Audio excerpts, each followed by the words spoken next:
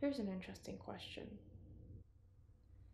If you had a chance to sit down and talk to yourself, someone who's an exact copy of you, having the same appearance, same brain, same age, what would you talk about? That is an interesting question. Well, it can only be a hypothetical situation because it's impossible to have an exact copy of something without destroying the original thing.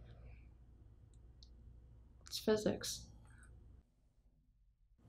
Remember learning about quantum teleportation and the no cloning theorem? Yeah, those are the good old days.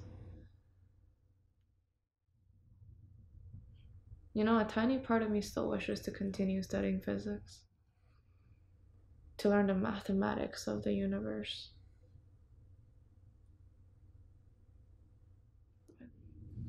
It's not my true calling. I know it.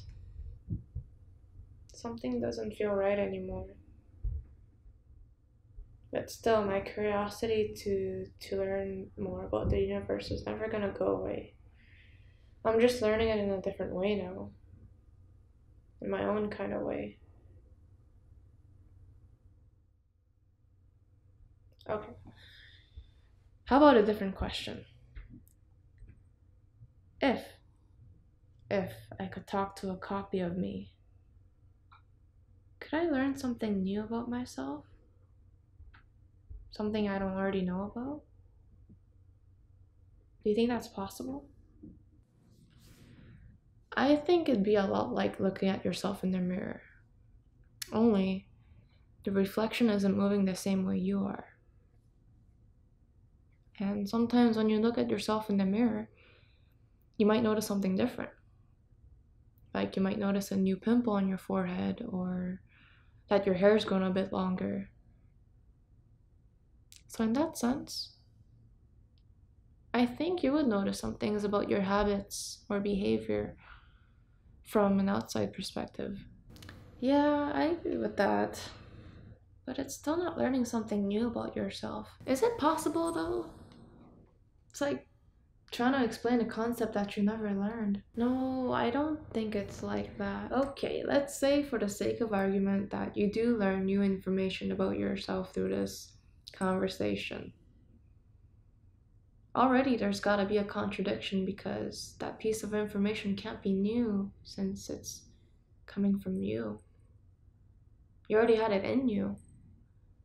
And maybe it seems new because you forgot that part about you and you're just re realizing it again.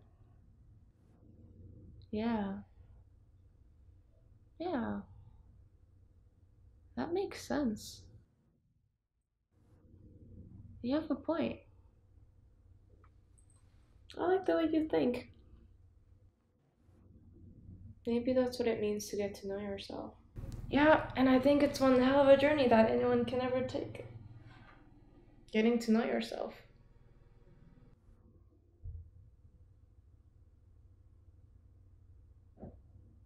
What would be the first question you would ask? Realistically, I think I would ask, how the fuck is this possible? Well, since we're pretty much breaking the laws of physics right now as we speak, I guess we're not real.